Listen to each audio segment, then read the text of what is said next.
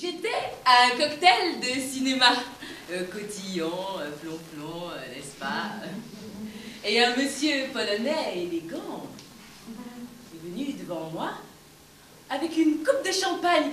Hum, Donne-moi ça, toi. Et il me dit, vous étiez magnifique dans ce film. Je ne le regarde pas, je vois. Je ne dis rien. C'est important de ne rien dire. Quand on est comédienne, ça donne l'air énigmatique. Et puis ça peut être très pratique. Si jamais on n'a rien à dire, il suffit de se taire. Et le polonais élégant continue. Vous étiez vraiment formidable, blablabla, wonderful, blablabla, wunderbar, blablabla. À ce moment-là, pour le remercier, tu fais un geste. Perdu, merci, au revoir, bye. Normalement, là, il part. Mais il reste là, mon polonais élégant. Il revient devant moi et il me dit Vous devriez faire un one-man show. Alors je le regarde de manière énigmatique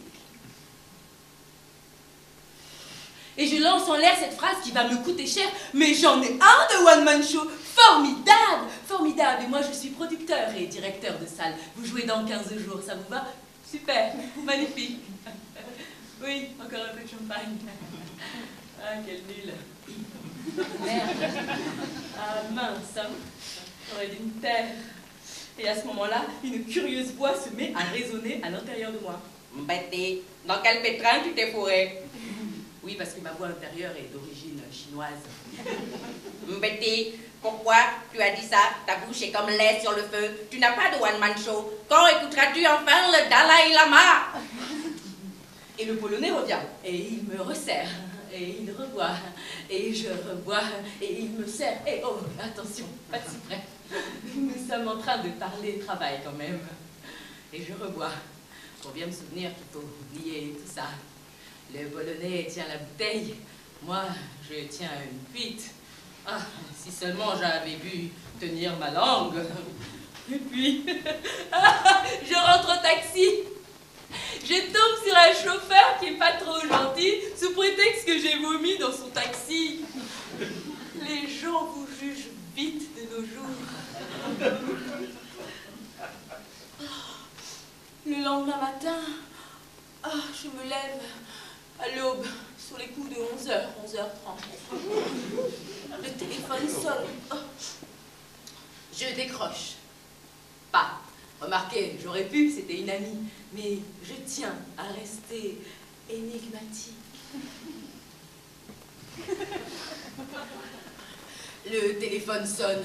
Encore C'est mon agent. Oui, oui, oui, oui. Oui. Betty, tu as encore menti hier soir. Oh Betty, tu bêtises.